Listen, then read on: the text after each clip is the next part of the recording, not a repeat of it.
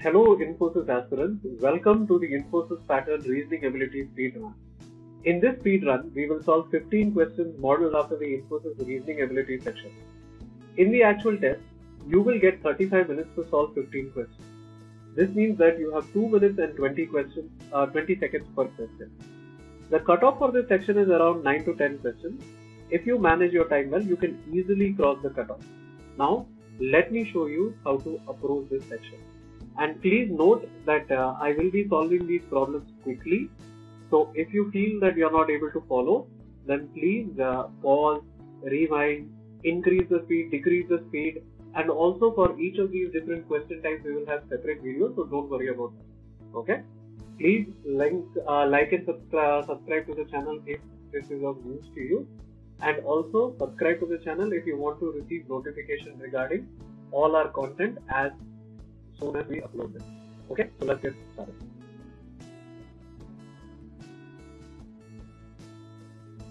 This first question is based on uh, linear arrangement in which there are 11 people and their names are Anwar, Baham, Chetan, Dayal, etc. which is basically A, B, C, D, E, F, G, H, I, J, K.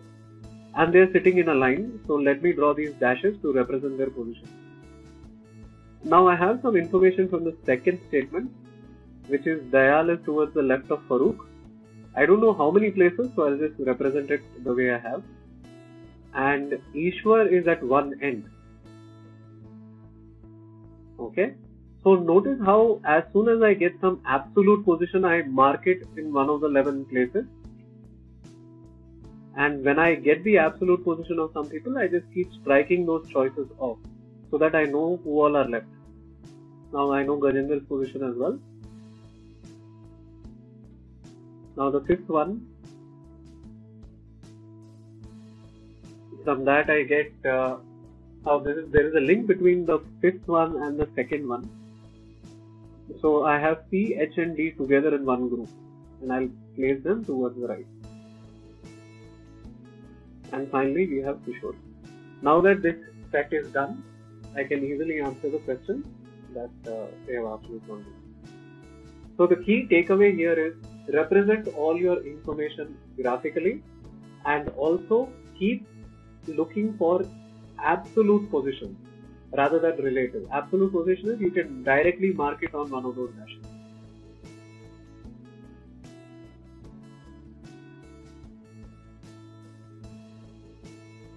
So you can pause and rewind if you want to get some more clarity.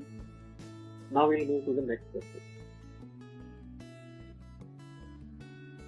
This question is from coding and decoding and as soon as I get any question from coding decoding I write this EJOTY where E is 5, J is 10, O is 15, T is 20 and Y is 25. So this is EJOTY. That will allow me to easily get the numbers corresponding to each of these letters. So candle is 3, 1, 14, 4, 12, 5 and I, G, T, X, F, Y will be 9, 7, 20, 24, 6 and 25. Now let me see the how the code is being generated. So plus 6, plus 6, plus 6, plus 20. Then after that uh, I hit a bump because it was minus 6 and then another plus 20. And you will notice that there is a break in the pattern but I can write plus 20 as minus 6 also. So this will be 20 minus 26 which is minus 6. Now I'll apply the same thing to claim. And all I really need to do here is look at the fourth letter. Because the fourth letter in each of my answer choices is different, I can eliminate my answer choices based on that. Okay, so I get the right answer as uh, G. Okay, the fourth letter is G, so only option D is the right one. Now here they tell us that 0 is represented as at the rate and 1 is represented as hashtag. As soon as you see any sort of representation like this, this is a binary question. Okay, so let me quickly uh, represent what is binary 1 1 1 1 1 1. So 2 cube, 2 square, 2 and 2 raised to 0. And the values are 8, 4, 2 and 1. And if I add all of them, I get 15. But they've asked me what is the value of 14. So 14 will be 1 less than this, which means I just remove that 1 and I get 8, 4 and 2 and 0. Now I draw the dashes corresponding to each of these places and I fill where 0 is required and then 1 is required. Now all the 1s are hashtags and all the zeros are at the rate. So our right answer is option B. Next one. Okay, so this is a series question. And as soon as I see this series, I don't see any definite pattern except there are a lot of squares here. Like 4 square is 16, 6 square is 36, 21 square is 441. So straight away what I'll do is 421 square. Okay. Now 421 into 421, I'll use the Vedic multiplication technique to get the last two digits. So I'll just cross multiply 2 and 1, 2 and 1 and add and I get 41. Only option C has 41 as its last two digits, so that's my right answer. So this is a Vedic multiplication method and it's very convenient in aptitude. Now next is syllogism. Okay. So here we'll be using something called the distribution method. So here no D is A and S is not A. If you have two negative statements in uh, the premise, then you cannot have a valid conclusion. Therefore, option A and B are incorrect. Now let's look at option C. No D is A and the next one is M is not D. So again, you have two negatives, so there's no conclusion possible. So I can eliminate option C also, which means by default our answer is option D. But let's look at option D, A, C, B. No D is A, and the next one is F is D.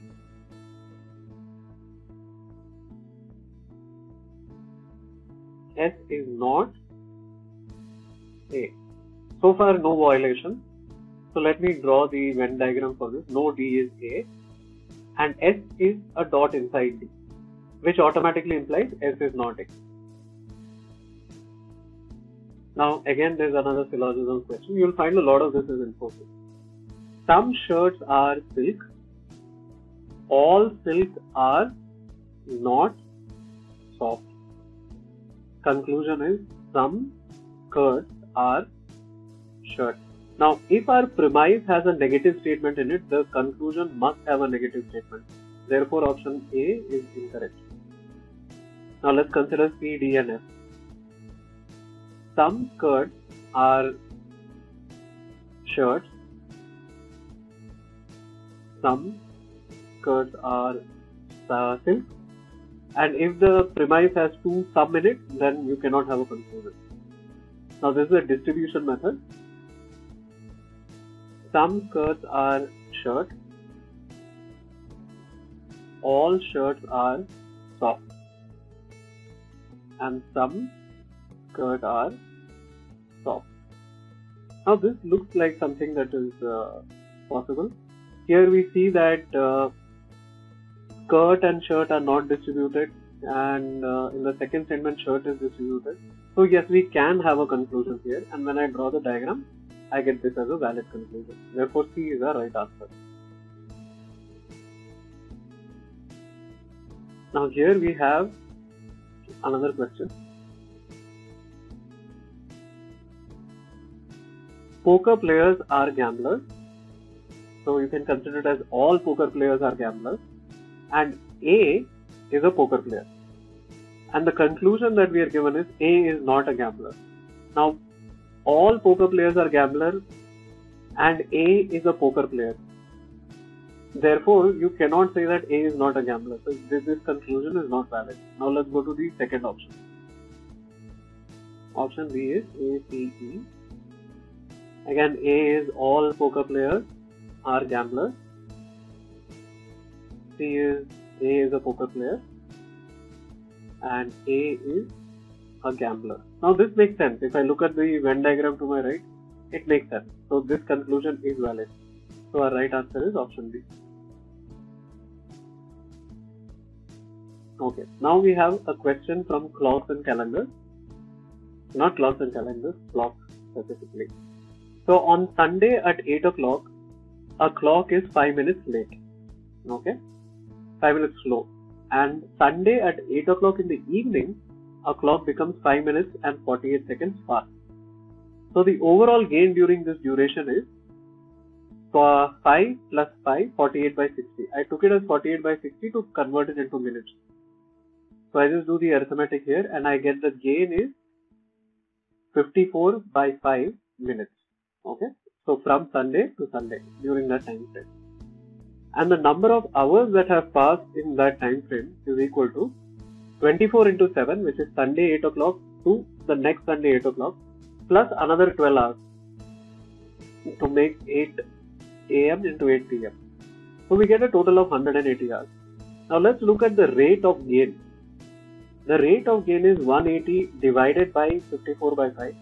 So this will give me for every minute how many hours do I require. So I just simplify this and I get 50 by 3. 50 by 3 hours per minute. For every minute it needs 50 by 3 hours. So time taken to gain 5 minutes will be equal to 5 into 50 by 3 which is 250 by 3. I'll use a simple trick here to uh, select the answer from the answer choices. Now you'll just see in a minute. Okay, so it's with the help of this denominator 3.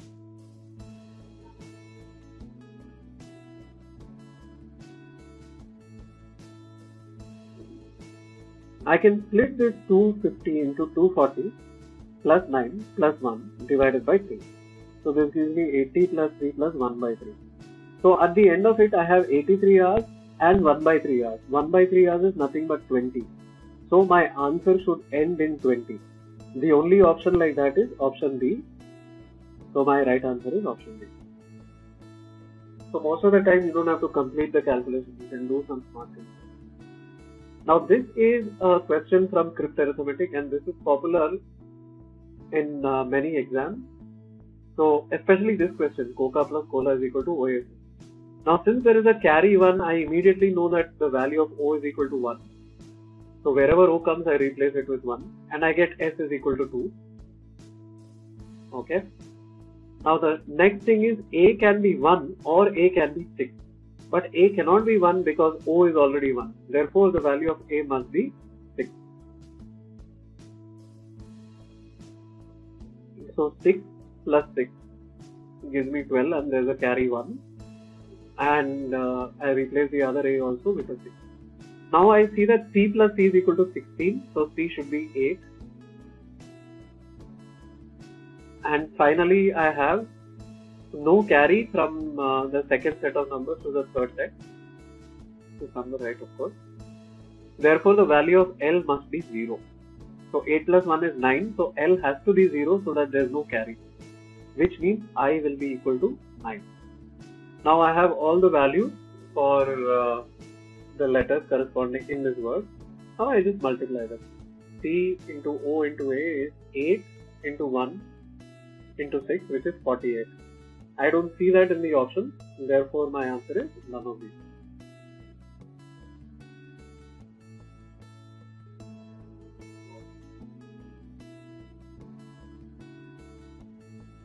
Okay, now here we have a question from calendar. So 21st May 2008, I start from there and I write uh, June, July and August. From May to June there are 31 days, then 30, then 31 and odd days for 31 is 3, for 30 it is 2 and for 31 it is 3. Now let's look at September 4, 2008. Now the August date that we got is from 21st May. So 21st August to 4th September will be 14 days, which gives me 0 odd days. Now I have reached 4th September 2008 and now I need to go to 4th September 2018. Now in between there are 10 years in which we have 2 leap years and 8 non-leap years.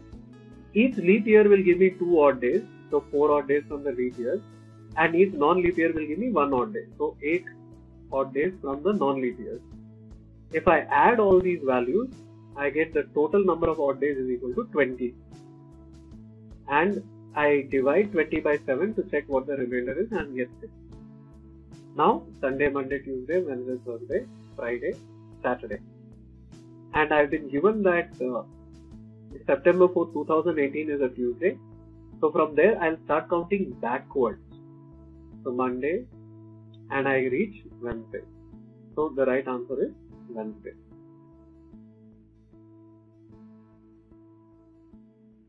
Now here we have another problem from uh, calendar where they've asked us to find what day it is on 10th November 1981. Sorry, not 1981, 1581. So it's 1581. This problem can be split into 1580 years, 10 months, and 10 days. 1580 is 1200 plus 300 plus 80. And that 80 I have split into 20 leap years and 60 non leap years. So 1200 years the number of odd days will be 0. For 100 years the number of odd days is 5. For leap year number of odd days is 2 and for non leap year number of odd days is 1. So when I total all this I get 115 and I divide 115 by 7 to find out what the remainder is. So this gives me to make it easier 105 plus 7 plus 1 plus 3 sorry divided by 7. I just split it so that it is easy for me to process. And I get the number of odd days as 3. Now let's look at the month. From January, February, March, April, May, June, July, August, September, October. Jan has 31 days, so 3 odd days. Feb is 0, it's not a leap year. March is 3, then April 2, so on. We reach October. When we add all this, we get the total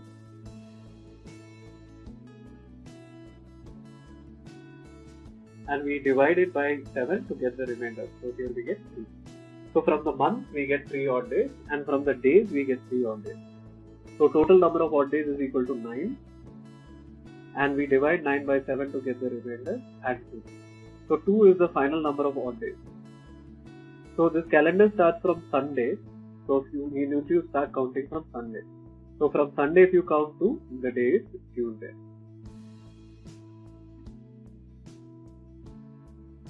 So this brings us to the end of the speed run and the purpose of this is just to familiarize you with uh, how the reasoning ability section of Infosys looks like. There might be some problems for which you didn't understand my explanation. Don't worry, we will be having detailed uh, videos on this later on. So please comment on what part of the video do you want me to elaborate and if you have any questions regarding Infosys, please feel free to ask. So this has been a speed run, but don't worry, we will have a lot of videos in which we will have thorough explanation. So thanks for watching. Have a good day.